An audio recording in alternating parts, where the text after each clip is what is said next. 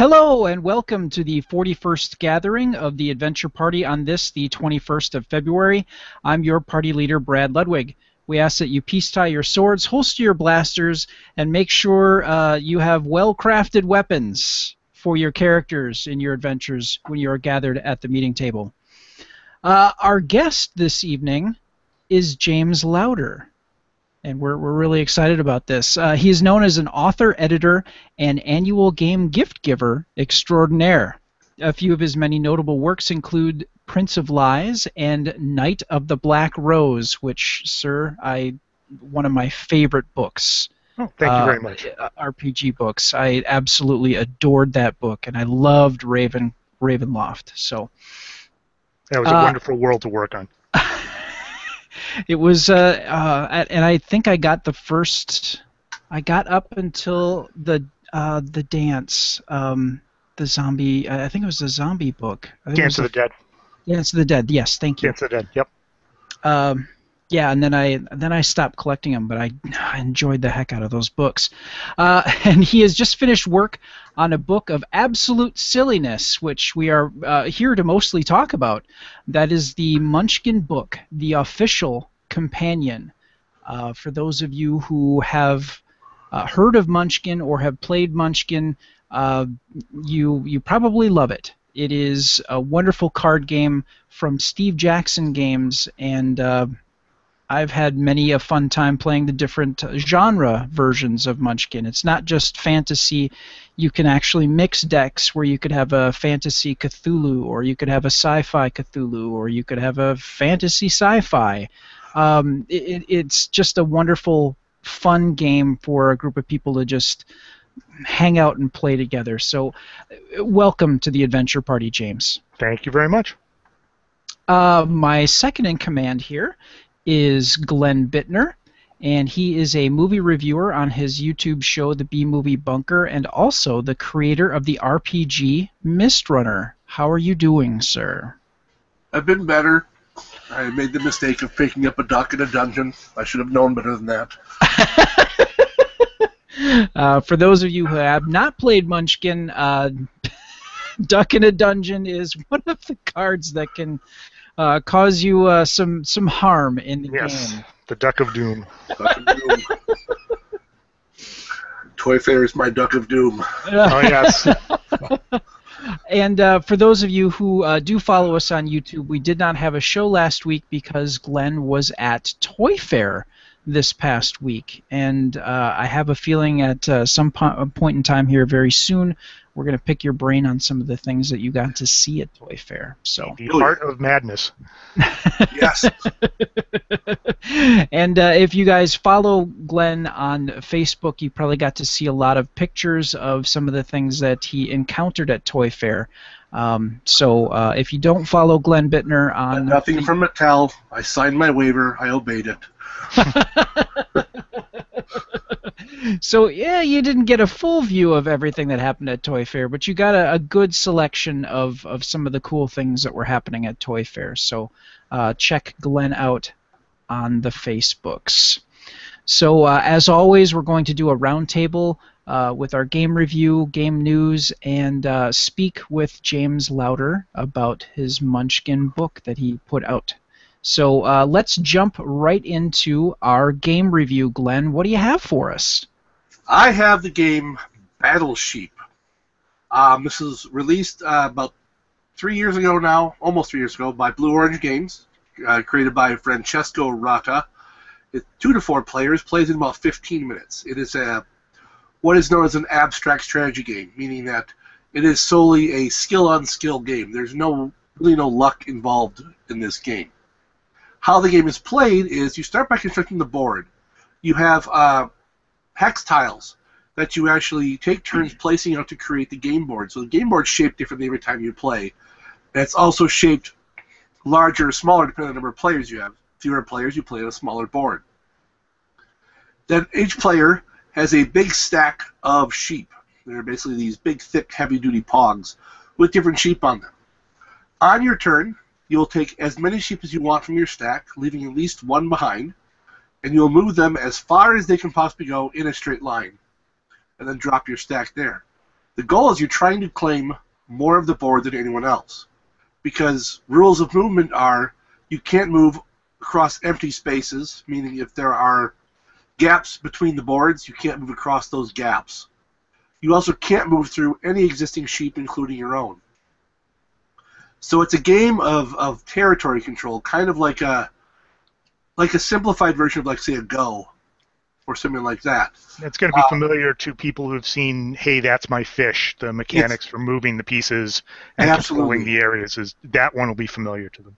Yeah, it's very similar to Hey, That's My Fish. Um, the, the the one difference being in, in Hey, That's My Fish, you're trying to collect the most fish. This one, you're trying to c- claim more of the board than anyone else. Um, and I, I love these kind of games. I'm I'm always hit or miss on, on some of these when it comes to my skill. Uh, hey, That's My Fish, I'm okay at.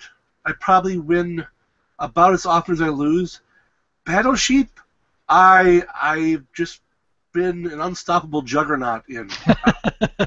I I trounced the guy from Blue Orange Games when I played it the first time at Toy Fair, who was supposed to be their pro, because I did something he didn't expect, and I've just I've been on a winning streak that is like twenty some games long, which for me is really really that's impressive for me because normally in these types of games someone comes along and does something I don't expect because I don't I don't adjust well to new strategies. So far, everyone's on the same thing, so I've been able to predict what they're going to do because they haven't changed up.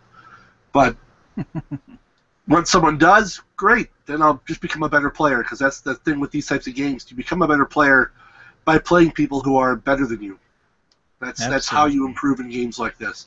Yep. And it's also I like it because it's it scales well in, in whether you have two players, three or four, because you reshape the board. So you're not in some games like uh, another one uh, called Blokus. If you play with fewer players, Yeah. You have a lot more board to work with. So strategies change a lot, and it, it it's much easier to end in a tie because you have so much room to work with. Whereas in this one, it's very hard to end in a tie because you shrink that board if you have less players. You make it bigger if you have more. And there's other little nifty tiebreakers involved as well. If you have the largest continuous block of sheep, you still get to get the win, which is how I've had to do it a couple times, where I've just managed to get that that big concentrated area of all of my sheep. Plus, you get great little images of sheep. Uh, painted- 'cause every one of them is different on uh, on all of your all of your different pogs. So, um, but it's just it's a good little filler game. It, it really does play, in, as long as you're not playing with someone like Randy. Uh, about fi- about 15 minutes. Okay. And good for kids too. It- Yeah, it's great a it's a game that yeah, it's a game that's accessible to kids.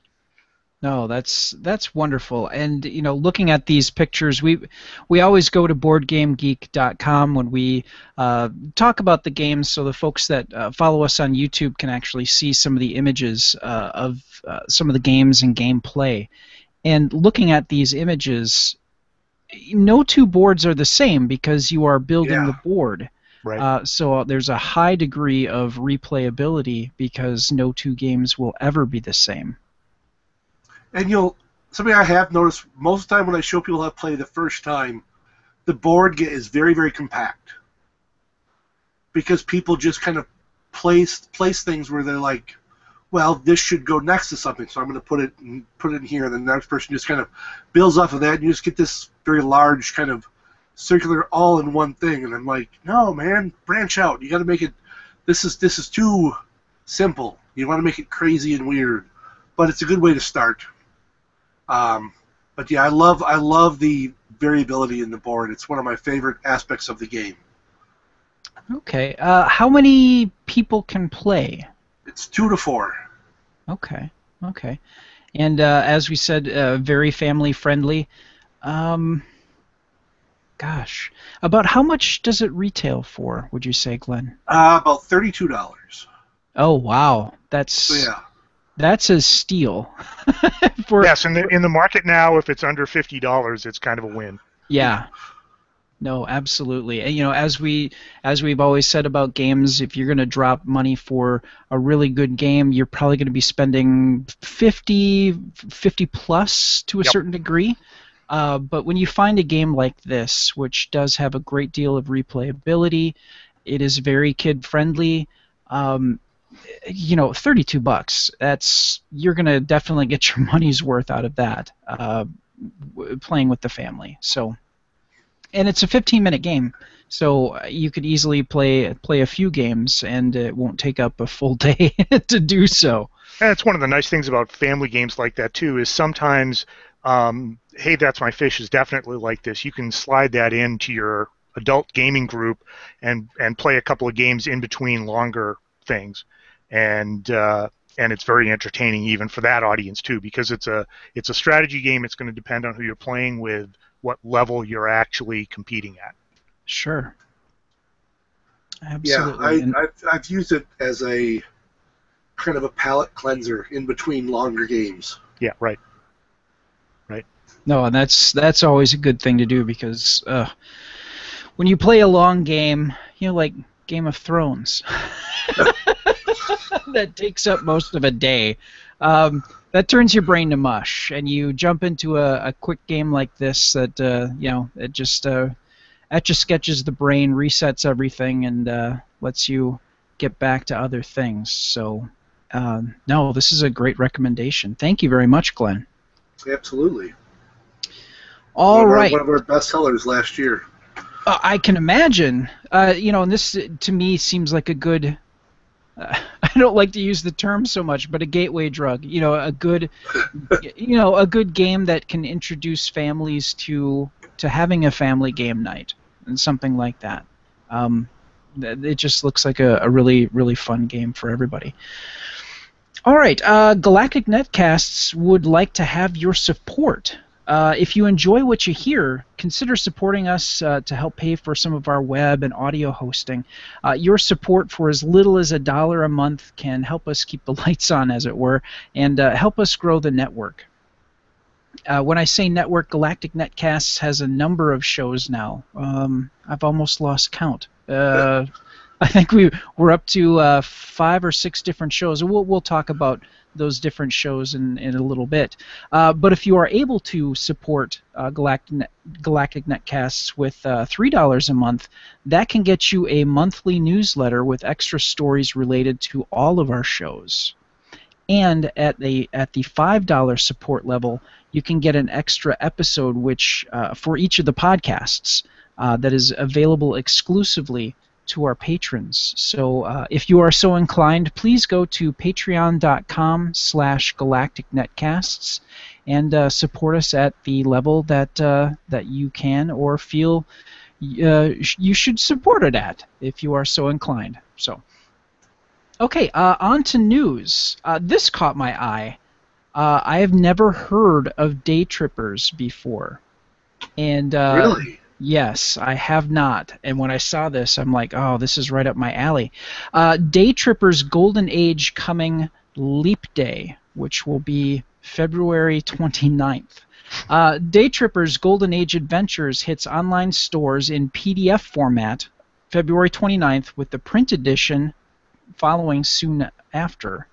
Uh, the book includes 16 role playing adventures based on Golden Age stories by well known science fiction writers of the 30s through the 50s. Uh, there's original artwork by uh, Jennifer Bone, Alan Dotson, uh, Chilla Faith, and uh, a number of others. Um, let's see, and there are going to be color maps as well.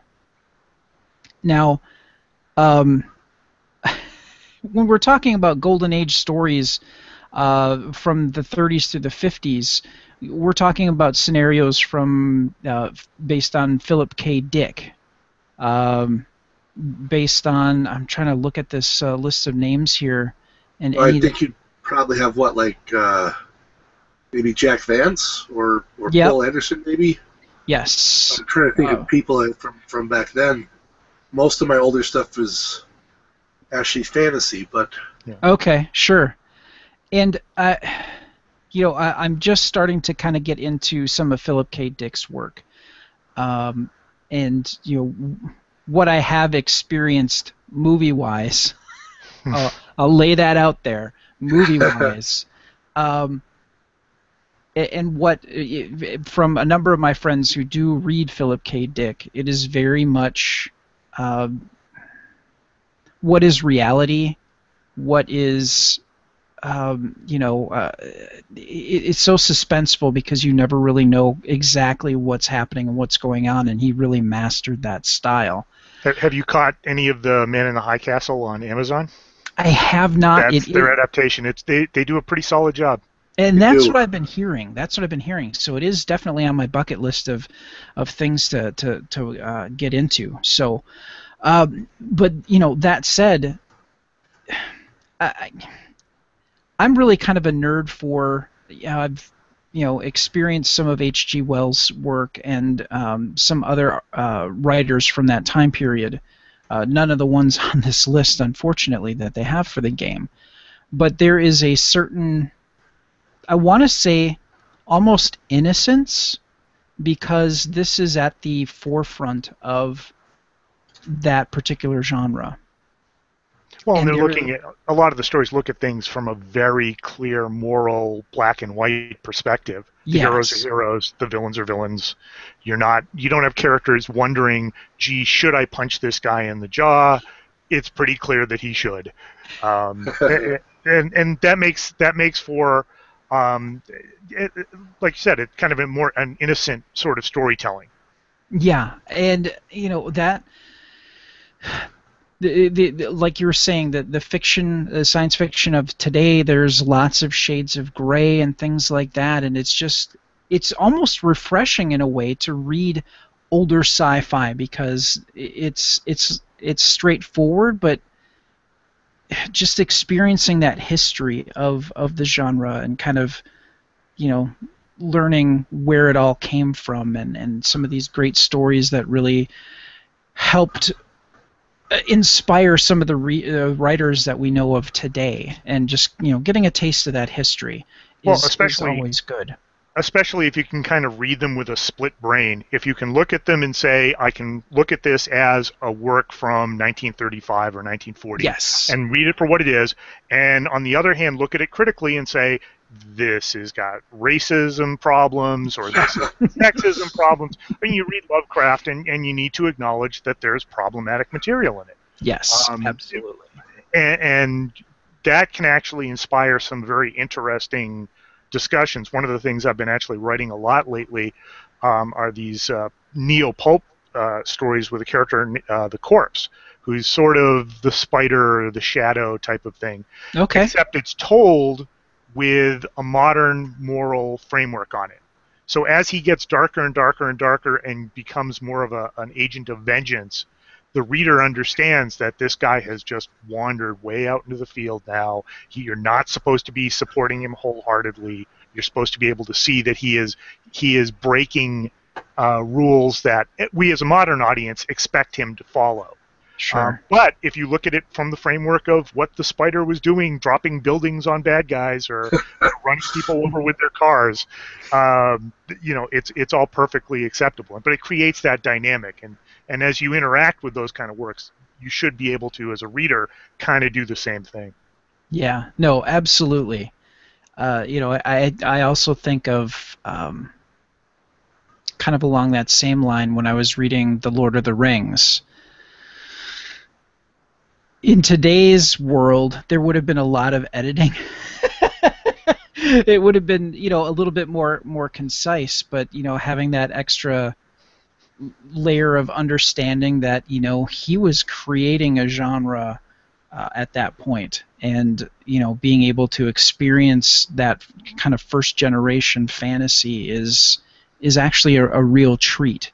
And, and yeah, and even from the things that he was drawing upon, if you look at the Norse Eddas or you look at the Arthurian material yes. yep. that Tolkien was drawing on, um, those are stories that can have you know you read Malory and that makes Tolkien looks like look like a short story, and and uh, you know Tolkien's drawing upon that sort of stuff and he's thinking, uh, gee, I'm I'm doing this concisely. Uh, but uh, but yeah, for the modern audience, you just have to be patient. You have to learn to to kind of accept the works on on one hand, accept the works the way they're presented. Yes, absolutely.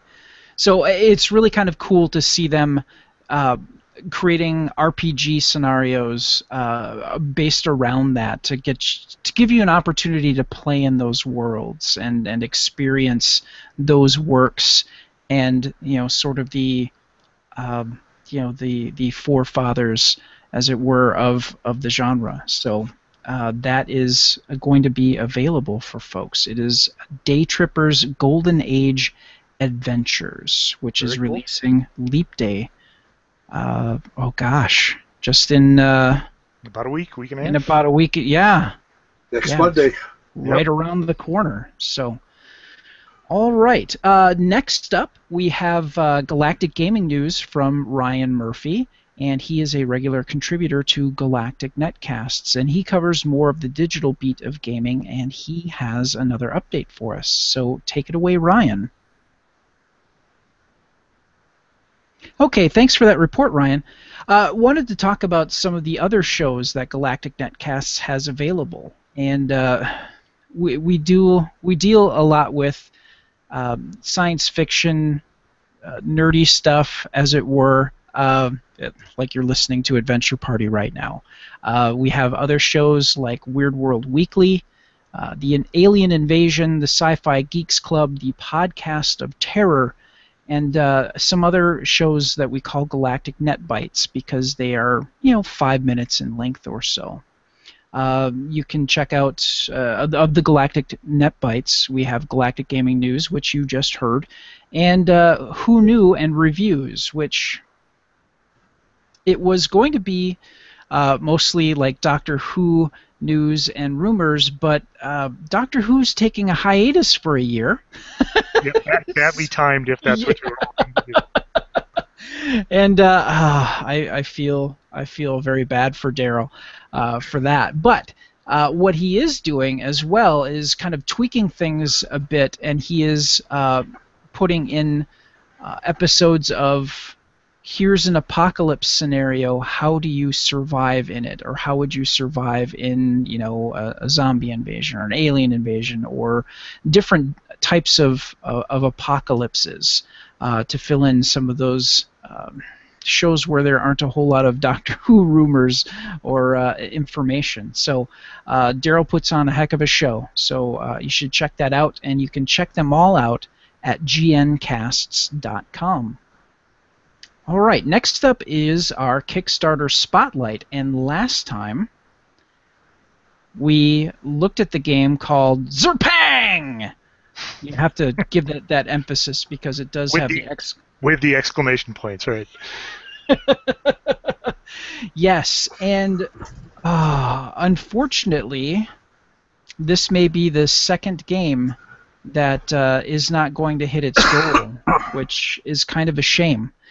Uh, currently, with four days to go, they have gotten uh, $8,306 out of their pledged uh, what they needed for uh, to meet their goal, which is 36,000. So they're it's not looking good. Steep hill. Steep- Yeah, it's a zero hour, and uh, some things need to happen. But uh, as we mentioned in in um, our last show where we talked about Zerpang, uh, it, it looked a lot like Chinese checkers, but with uh, opponents. You can have aliens versus gunslingers versus pirates versus robots. Uh, it it seemed like a really really interesting uh, Sort of game. Chinese checkers crossed with Smash Up. Yeah, yeah, kind of like that. And uh, two, to, it was uh, two. It's two to six players, and a game takes about one to two hours, and it's twelve and up. So, uh, a good family game, uh, if it were backed. And I, I hope that if they don't get this backed, there's another way that they can find funding to make it happen because it looked like a really, really interesting game. And they got a good lot of good reviews from the people that uh, checked it out, like uh, Father Geek, All Us Geeks, and uh, shoot. Well, I hope they make it. Uh, but what we're going to do now is not dwell on the past, but look to the future. And Glenn, what do you have? Yes. Well, I don't back the losing horse. I picked the horse that has already reached its goal. So, so that way I, I know I, I'm successful because it's already there. No, I picked Saloon Tycoon.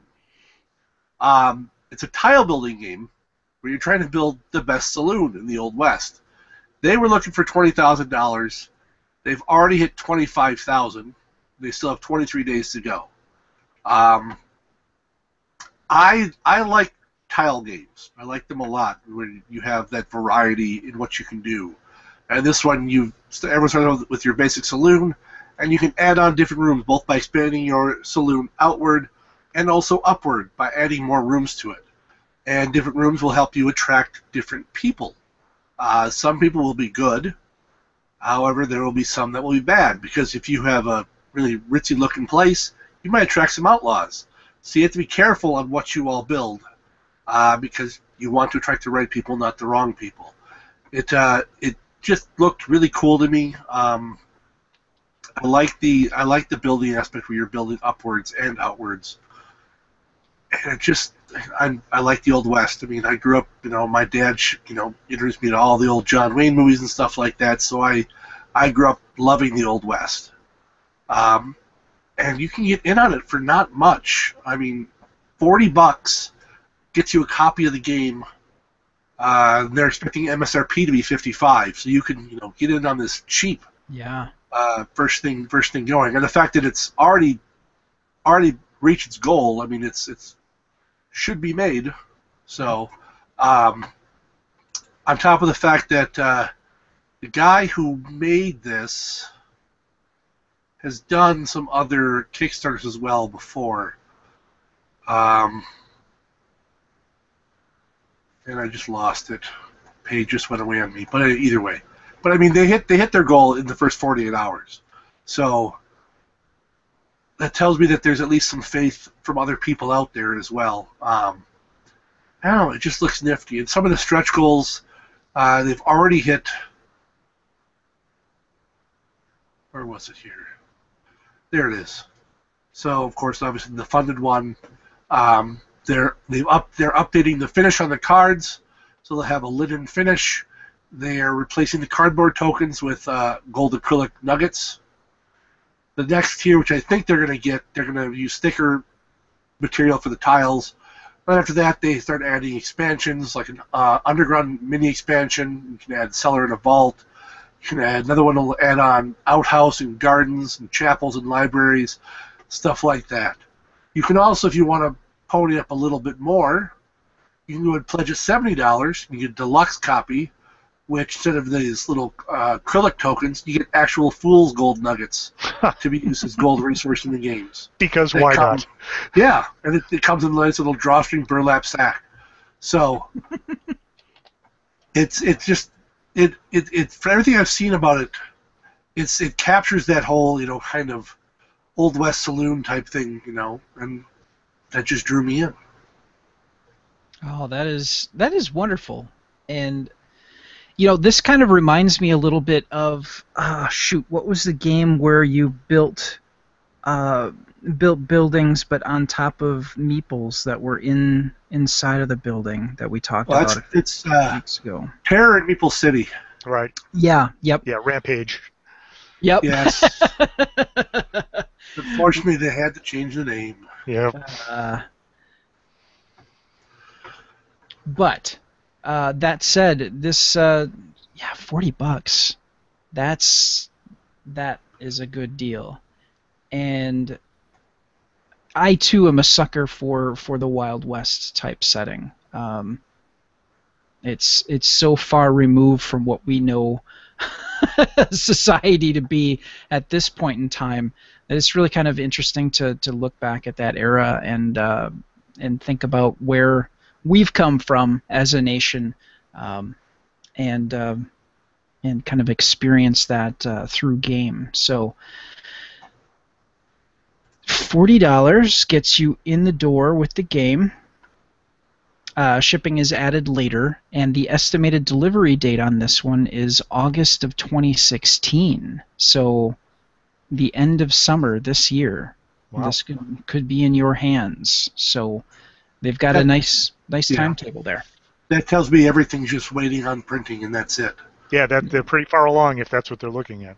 Yep. And and as I said, the the guy who's who's doing this, uh, AJ uh, Porfirio or Porfirio, whatever it is, I mean, he's done several other Kickstarter games, and they've all reached their goals. You know, so he's he's he's delivered in the past. So Which would explain why this has been backed so quickly. Yeah, he's Um, done I think seven other the, the six other Kickstarters that have all been successful. So Yep. Nice, nice. So, uh, yeah, he's got a, a standing record of uh, quality stuff. Uh, I'm willing to bet if you put out poor games in the past, you're probably not going to get your game funded in the future. So, uh, this is a very good indication that uh, he puts together quality games, and uh, this looks like a, another one in a line of games that he has managed to. because if there's one thing we nerds are loud about, it's things we don't like. Yes. Especially when you get to the fool me six times level here with this guy. Yes, absolutely, absolutely. The internet can be brutal to those who uh, do not deliver the goods. Yes, indeed. And and it and it can be kind to people who who do a good job and and turn things over on time. Absolutely, it's a double-edged sword. So, um, do good by the internets and and the geeks, and uh, you should do okay. So, all right. Well, thank you for that, Glenn. Uh, Absolutely.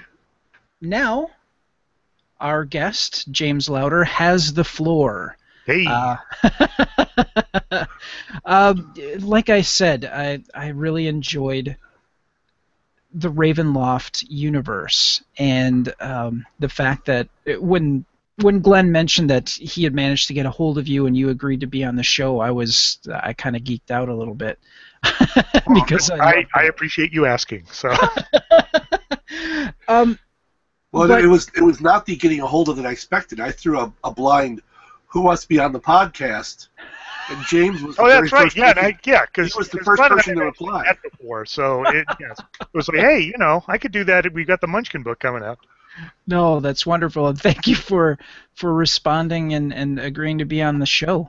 Well, it's you know what? It's kind of like what you were saying a minute ago about you know being kind to the people who are in this community, Mhm. and and that means podcasters. That means people that work at stores. That means you know that part of of the community as well. Sure. No, absolutely.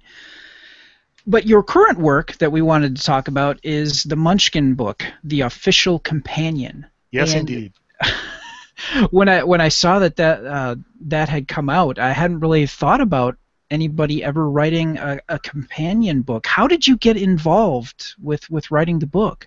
Well, I I had um, I, I actually talked to Phil Reed and um, and then Andrew Hackard at PAX East in 2011 or 2012, and uh, I had just wrapped up um, another book for the same publisher. This is the book, the Munchkin books, part of Ben Bella's Smart Pop line, and the Smart Pop line takes TV, movies, kind of geek culture stuff and then um, deals with them in a sort of a middle ground way. It's not just fan writing, but it's not hardcore academic stuff. It's why do we take this stuff seriously? What is it about these works that deserves the fan attention and deserves to be considered a little more seriously? So the one I had just wrapped up was on uh, George Martin's Song of Ice and Fire book series. Hmm. And I was talking to Phil about that, and Phil and I sort of both at the same time said, we could do one of these about Munchkin. and we stood there and looked at each other for a minute and said, okay, we'll have to pursue this. And I left the PAX East Gaming Hall and called my editor at Ben Bella and said, this is a really, really good idea. Uh, because right from the start, we said, well, you know, and it's a Munchkin product, so we would have to include game rules in it. Uh, and we would want to get everybody involved. Steve Jackson, we'd want to get involved. John Kovalic, we'd want to get involved.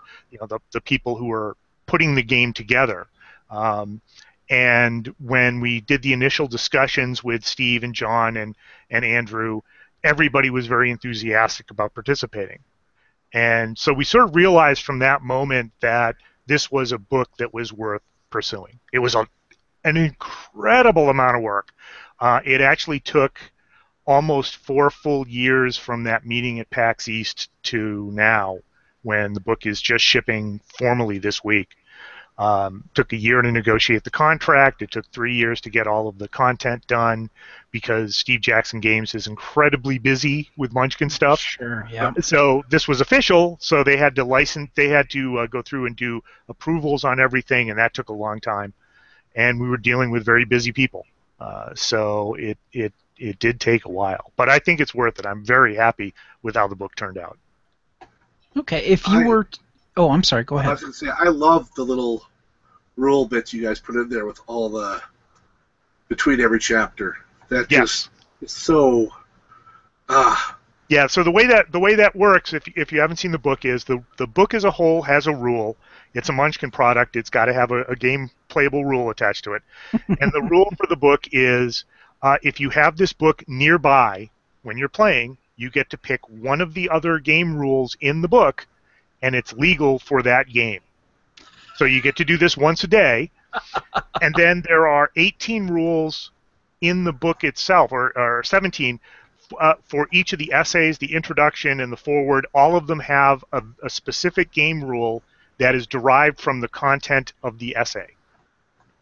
Oh, wow. So, um, and so each one, and that was the, one of the best parts was actually going through. We'd get the essay approved, and then we would sit down with um, with uh, Andrew Hackard and um, Devin Lewis and Randy Scheunemann. Um, all had input on, on this stuff, and we'd we'd brainstorm and send stuff back and forth, and I'd send ideas that I kicked up when I was when I was editing the, the, the final drafts, and then we'd hammer out what the final rule would be, to, you know, tied to the actual content of the essay. How long did it take to come up with rules around the essay? I mean, did you like sit down Sup- and have a brainstorming session, or was that surprisingly quickly. It, it actually did not take us that long. Um, I would, like I said, I would send as I was working on the essays. Sometimes I would I would have an idea for um, a rule, and I would send those along on the tail end of the essay, the final version of the essay, for final approval. And about half the time, uh, Andrew and and uh, the the real hardcore rules guys over there said, "Hey, that's actually pretty good. We can we can do something with this." And half the time they said, "Uh, no. go, go edit the next essay."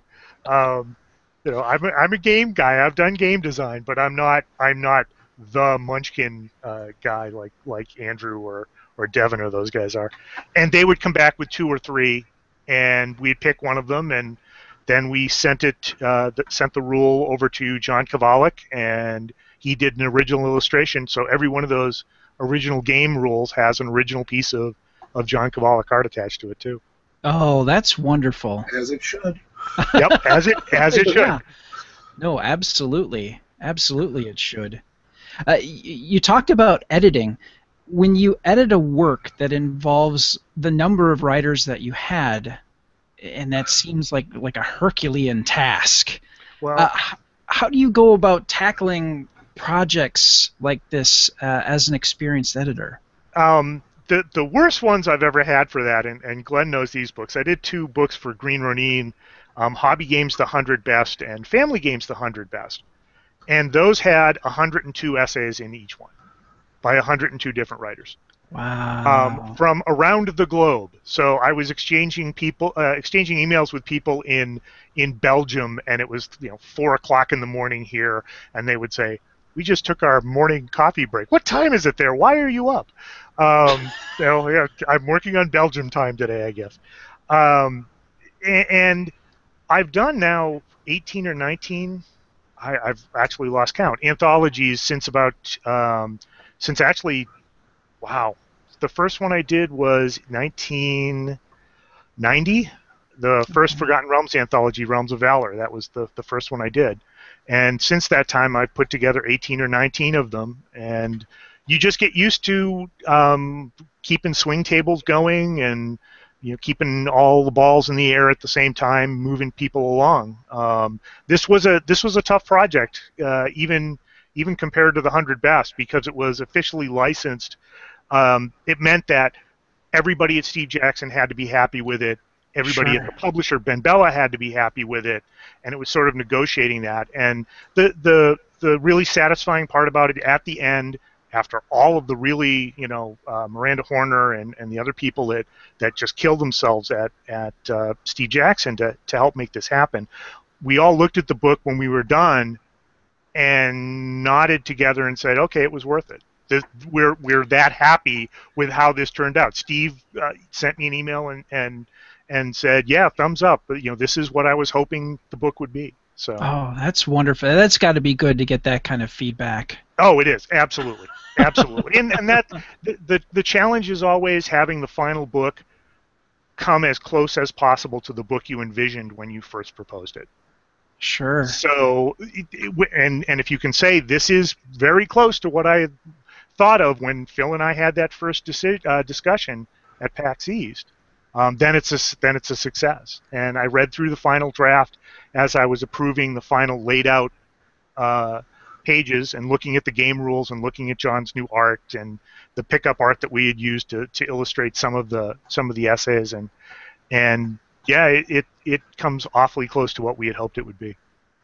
And oh, and that has to be even more of a monumental task, especially when you have so many people that you need to please and and have on board for this thing to even be finished. So for you to hit that mark is is truly amazing and wonderful. Yeah, and to have and to have both Steve Jackson and Ben Bella say yes, we're happy with how this turned out, you know, Yeah. and for the individual authors to say, yeah, that final version of my piece is what I was hoping it would be too, and so I'm happy with it, and um, that that more than anything else in, in terms of editing for me is what I've learned since since working in the book division at TSR is I'm much more um, writer focused than I was uh, when I first was learning the rope, learning the ropes. Um, I want to treat people's work how I want my own work treated when I'm the one on the other side of the desk. When I'm the writer, this is how I would want somebody to approach my stuff. And generally, you can't go wrong. The writers are eh, the writers are generally uh, very very happy with how I treat their stuff, and and I'm very respectful of it. I'm I the book is nothing without them.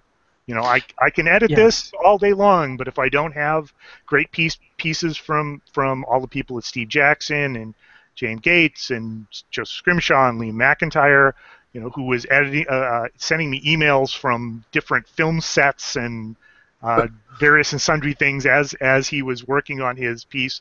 Uh, uh, Liam did uh, a, a thing called uh, Munchkin Hollywood, where he writes about what it's like sort of surviving in Hollywood as if it were a Munchkin game with everybody sat, sitting around a table. Liam Liam is playing. Uh, he was Spartacus on the Starz series, and he uh, he's Weather Wizard on the Flash these days. He's doing a bunch of other stuff too. Um, gigantic Munchkin fan, big gamer geek guy. um, and so uh, you know, being able to to sort of share enthusiasms with the people working on the book is is a great part of it as well. No, that's really cool. And, uh, you know, that has to be very difficult being an editor where, you know, you need to keep you need to keep the troops happy, but also you need to deal with the higher ups and, you know, keeping things on track and making sure that, you know, the, the people higher up the chain are, are happy as well. Yeah. Um, how you know you said i mean you had you had to grow into that to be to be that level of editor. How how does how does somebody learn to be a good editor just beyond you know taking a few hard knocks here and there? I mean what's what how would you go about doing that? Well, for, for me, I think a good editor is somebody who can look at a piece of work that's in progress and figure out ways to help the author clarify his or her vision. I need to look at that work like I'm simultaneously editing and reading it. I'm the audience, but I'm also the, the referee. And I need to look at things and flag them where the author isn't being clear or the story is bogging down or there's description missing or, or the logic is weak and point these things out to the writer and say here's where i think this is what you're trying to achieve this is where i don't think you're reaching it and then it's a dialogue and most of the time the, the writer will come back and say, "Wow, yeah, that's that's right. Th- those things are are problems." Sometimes they'll say, "No, I like it the way it is," and that's okay too because the writer's name goes on the work at the end of the day. Um, and so, you know, editors need to understand where that line is. Um, and uh, and partly it's uh, you know being able to sympathize w- from my own position as a writer. Um, Sure. You know, I'm not there to co-write this stuff for somebody. I'm there to help them clarify their vision. Just really kind of shepherding the author to to Right. polish the work. Right.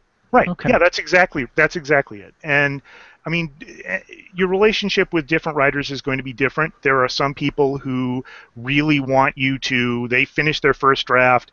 They're not protective of the language that they have on the page, so they're okay with you. Oh my God, there's you know, 57 adverbs on this page. I'm just going to do search ly and just start killing them randomly here. Um, And there are some authors, if you've worked with them before, you can you, you know you can do that. Um, it's part of the relationship, and different editors work well uh, with different writers. I, I learned that. That's something I learned actually very quickly at, at TSR because um, uh, Bill Larson, one of the one of the editors we had, um, had people like Doug Niles. He worked with regularly. Yeah. Doug loved working with Bill. Um, uh, Eric Larson was Bob Salvatore's uh, first editor for the first bunch of Drizzt books. Um, Eric wasn't a gamer, but he was much more aware of sort of a general audience um, perspective on the work. So he helped Bob. Bob was a gamer. Bob didn't need anybody telling him how the game rules worked. Bob already had that down. Yeah. Uh, but he needed somebody to help him make the story broader so that it appealed to more than just a gamer audience. So I think if Bob hadn't been working with uh, initially Mary Kirchoff and then Eric Severson, um, I don't think Drizzt would have taken off the way it, it had. It's that initial stuff that their input. Um, and then there were other authors like Elaine Cunningham, um, you know, different people that I worked with uh, who really put on the put on the armor and expected me to come back with red ink all over the pages and and say, "Wow, what is this?" Um, and when we sometimes switched um, uh, editing assignments, we found out that that the authors, you know, the first couple of times I edited Bob Salvatore, he was for the two first two uh, Realm short story anthologies. He called me back and said, "What the hell?" Because it wasn't like what you know. Eric is a very mild mannered, soft spoken guy. He was just perfect for working with Bob, and Bob would got the pages that I bled all over with with comments and corrections and what's this? Uh, and so uh, so yeah, I mean, it really that's that's something else that you need to be aware of. Is everybody's looking for kind of slightly different things from from an editing uh, from an editing process? So you really have to be kind of almost chameleon-like, being able to manage folks in different fashions is how they re- better respond. Yes, and and that's you you have a you you try and find a good workable baseline. This is how I will treat everybody. Everybody gets this level of respect from me, and I show Sure. and I make clear up front that you know they're the author. I'm not there to rewrite them. Um, make it clear this is what my my general approach is. But different authors, I can if I've worked with somebody a few times, I can send things back with, oh, you've got to be kidding me, uh, you know, in the margins for for for a fight scene that doesn't work, or you know, ah, this is terrible. Where I might not say that to somebody who I I uh, uh, I hadn't worked with before. Elaine Cunningham actually um, dedicated one of her uh, Forgotten Realms books to me, and in the dedication said, "Put the red pen down now and just read it." which was lovely. Elaine, I love working with Elaine, and and and that that so summed up our relationship. Uh, that, that was just marvelous. Uh, getting back to uh, to the Munchkin book, uh, there's a lot of people that were involved with it. Did you did you pick them Yes. or okay?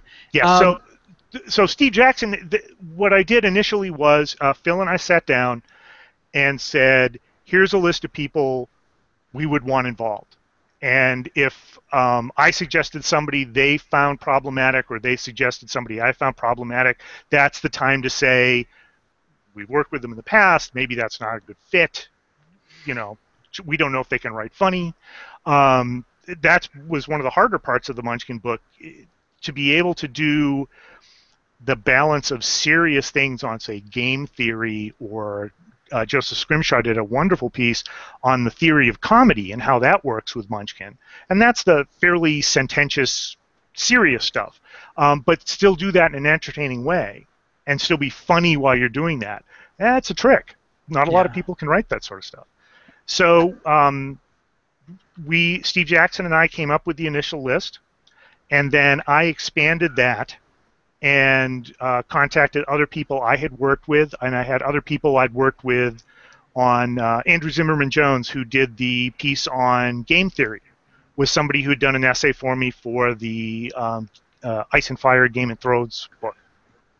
So I had other people that I knew might be interested in this sort of topic, and and sort of went from there. Cool. Yeah, I mean, I mean, there's names I when I first got the the preview copy, there were names I expected to see that I saw. Obviously, John Kovalic. I expected to see Matt Forbeck in there. Yep. But then I run across other names, and they aren't ones that would have ever popped in my head. Even though, uh, like Bonnie Burton. Right.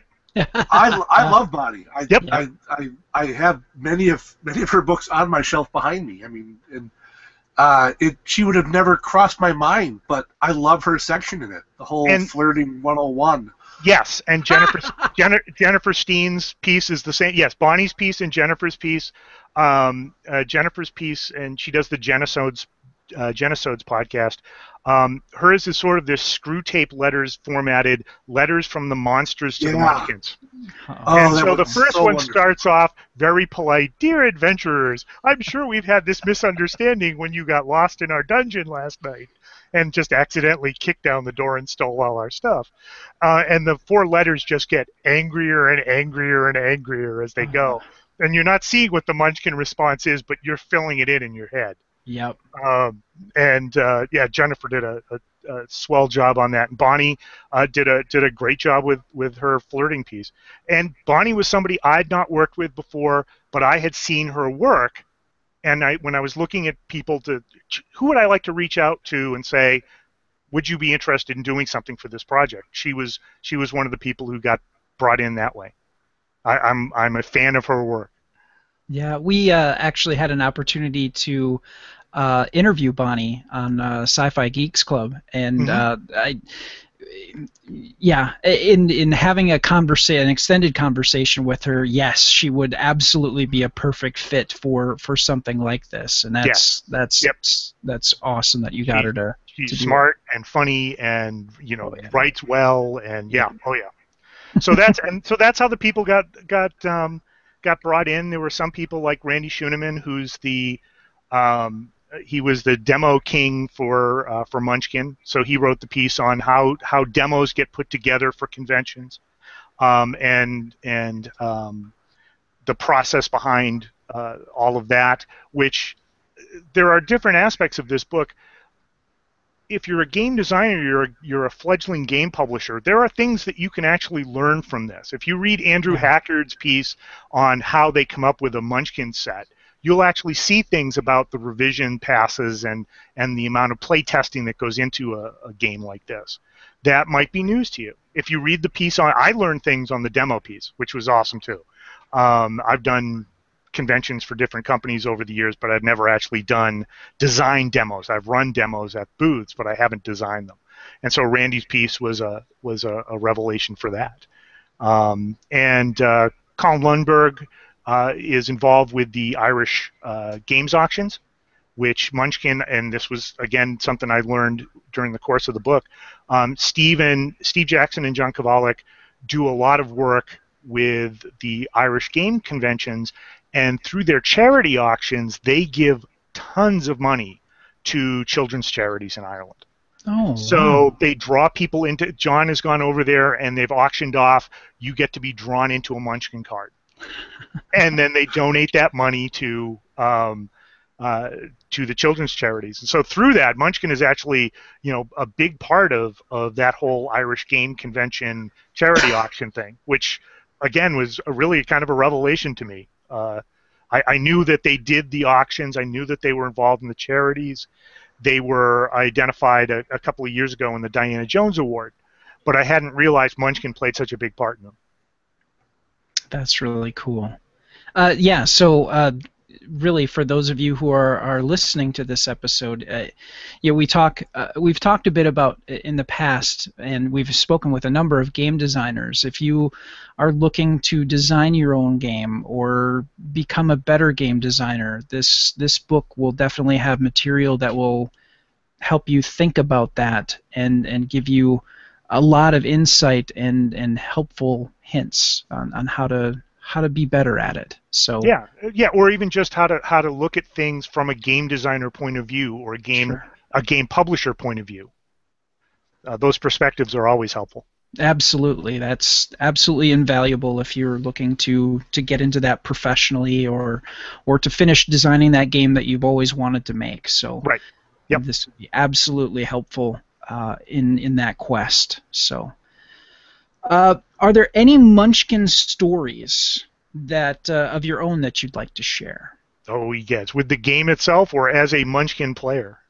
Because I go back to my, I'm actually a late '70s D&D guy. I started playing D&D in the in the late '70s, sure. and uh, when I first got my job at, at TSR in the late '80s, I started there in '88. Um, I could not help but come across as the munchkin in every conversation I had. Uh, because when you're talking to, you know, Jeff Grubb or you've got to call Ed Greenwood on the phone, um, or you know, or Zeb Cook, uh, you you just can't help but come across as the green newbie. Uh, it, it's just inevitable.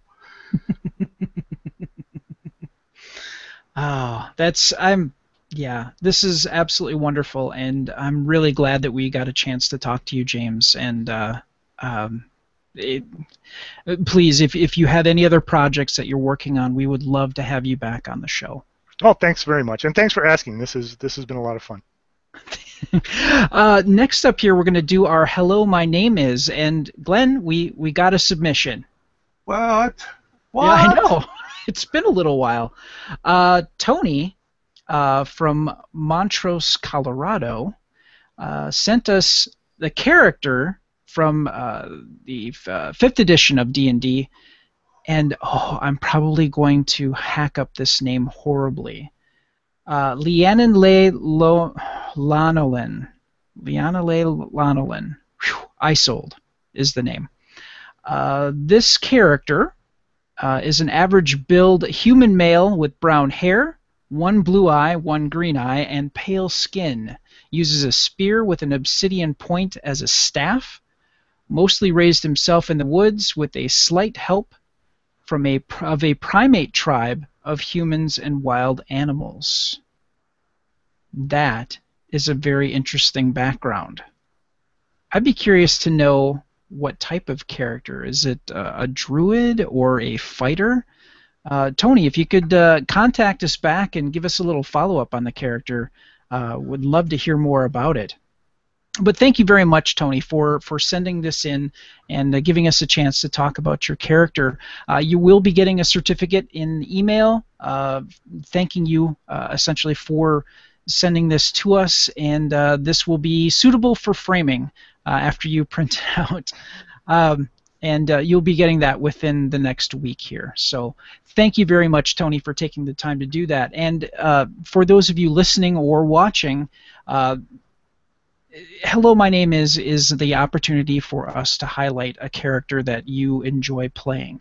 It also gives us an opportunity if it's a character that you play in a system that um, you know is maybe not mainstream or gives us a chance to kind of talk about um, adventures that we might have had playing uh, uh, Rolemaster from Iron Crown Enterprises, or you know other. Um, I'm trying to think, Traveller or GURPS or any Tra- game system. The ones and Vigilantes. See, oh, I Villains and Vigilantes does not get enough love.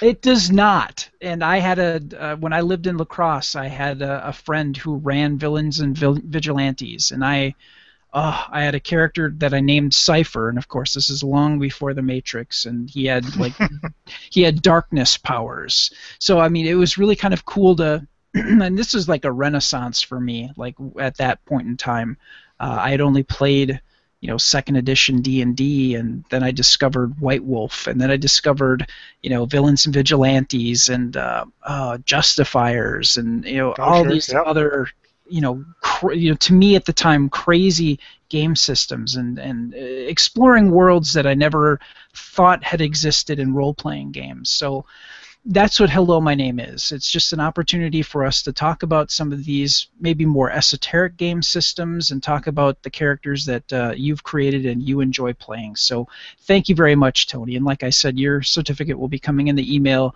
uh, within the next week here. So Send me your Star Frontiers love. yeah and you know i never i always wanted to play star frontiers and nobody i knew ever ran it. So uh, but i know how much you absolutely love that game system. So uh, yeah uh, any game system that you've played any character that you've played we would love to talk about it. So uh, feel free to hit us up at uh, uh, boy uh, galacticnetcast.com i had a uh, c- complete brain breakdown there. gncast.com.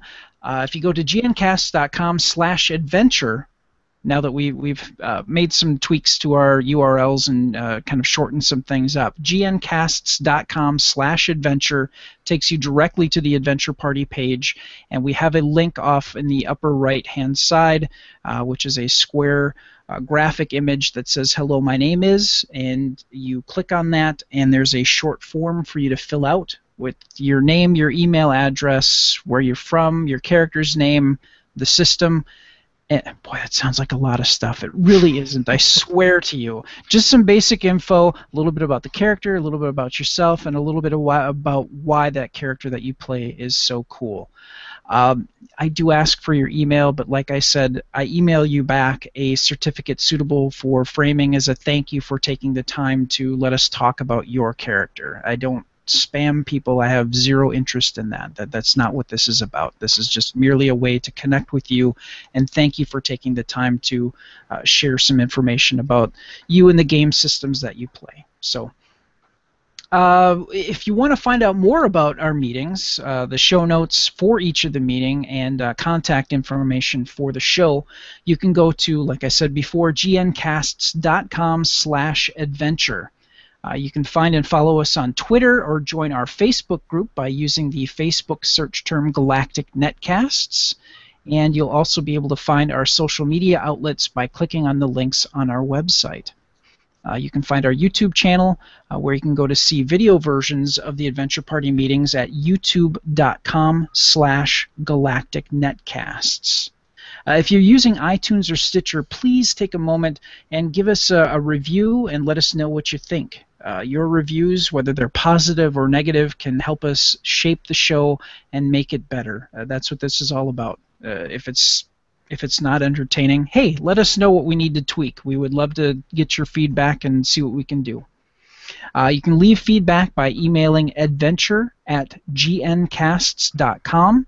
You can also call or text the number 805 328 3966. Again, 805 328 3966. And you can leave a voice message or a text message. You can also go to gncasts.com and uh, in the lower left hand corner there is a leave us a message and if you have a microphone attached to your computer you can leave us a voice message that way. James, I want to thank you so much again for taking the time to speak with us. Where can people find out more about you and what you're working on? Uh, best place right now is probably Facebook. Um, if you look for the James Lowder on Facebook, that's talking about movies or games or things like that, that'll be me. Um, I've got a web page, but it's under reconstruction right now. It was it was terribly outdated and sad, so Okay. I took it down for a for a, a revamp. Sure. Okay. All right. Uh, thank you very much. Uh, Glenn, once again, thank you, and I hope you feel better soon because, oh boy, this has been kicking your keister since Thursday. So, um, yeah, I got, I got another con to go to next this coming weekend. oh no. Oh. Where you can spread your joy. Yes. Better talk. I'm coming for you. or collect Concrud V2. Uh, I, I, hope that that is not the case. But uh, where can people find out more about you, Glenn, and uh, what you do, what you're doing, and about Mistrunner? You can find me on Facebook. You can find me on YouTube with uh, the B Movie Bunker at Guy in a Bunker, or just follow me on Twitter, Guy in a Bunker. And uh, just to note that the name has changed. It has. It is now Guy in a Bunker. So it is no longer Naked Hobo. I went with something a little more Google search friendly. yes, and uh, you know I applaud you for making that decision. I'm a little sad that I won't be able to giggle like a 10 year old boy when I hear that, but you know, it, it's a smart decision that you made, and and uh, it, it's going to work out for you. I know it. Uh, you know, thank you so much, everybody, for uh, listening or watching the Adventure Party. Uh, may your characters never die, and your adventures always be epic. Thank you, and good night.